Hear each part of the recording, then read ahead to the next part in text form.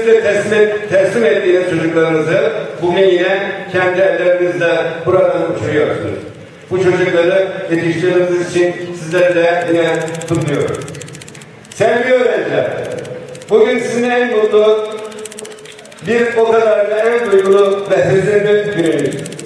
Mutlusunuz çünkü liseyi bitirme heyecanı yaşıyorsunuz.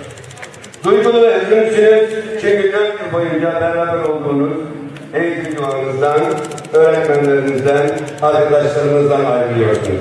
Sizler bu okulu birçok öğrenci arasından seçilerek de Öğrencilerimiz için çok anlamlı bir gün.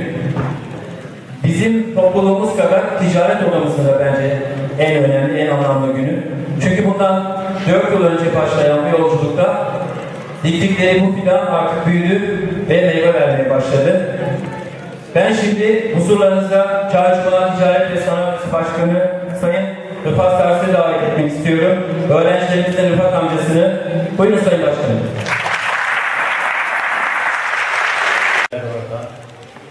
Sayın Başbakanım, Sayın Balıkesir, Genel Beraber yaptık. Bu birisi bu inşaat. Ama 2010 yılında bu bilgisayar. Devlet siz bu yaparsınız, biz Anadolu Öğretmen Sesi kadın bir söyledik. Bu Anadolu Öğretmen Sesi kadın. Ama benim buradaki huzuru, güvenliğin şeyi, bütün yönetim kurumları, bütün üyelerin hep bunu sayın olduk dediğim kadar. Ben bundan sonra gelecek öğrenciler, bizleri maaşları çocuklarına, onların her zaman arkasında Her adına süzülecek yanaklardan gözyaşları. Başlangıçlar her zaman güzel olmuştur. Bitişler de zor. Tanışmalar heyecanlı ve umutlu, ayrılışlar acı. Sizden her şey kalır geride. Kırılan kalbinizden bir parça mı? Yoksa sevdiklerinizle paylaştığınız anlar mı? Şimdi nice anılar ve güzel duyguların eşliğinde gururlu ve bir o kadar da hüzünlü bir şekilde okuma veda ediyorum. Bayrağı yeni gelen arkadaşlara teslim ederim. Bizlerin yetişmesinde ve olgunlaşmasında büyük rol oynayan, bizleri yetiştiren siz değerli öğretmenlerimize, tüm mezun arkadaşlarıma da teşekkür bir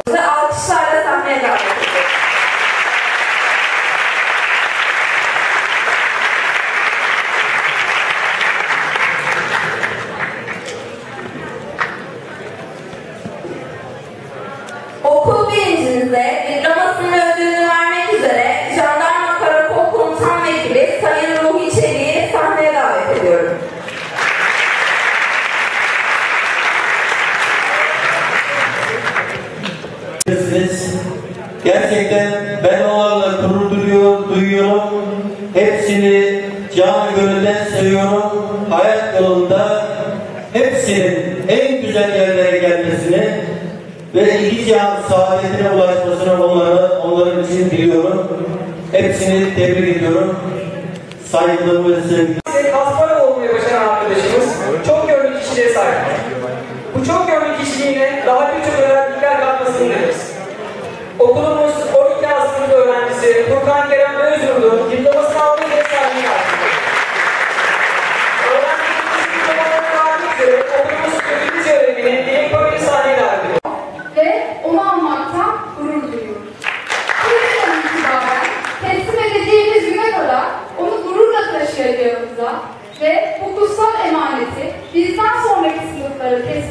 teslim edeceğimize söz veriyor ve onu öperek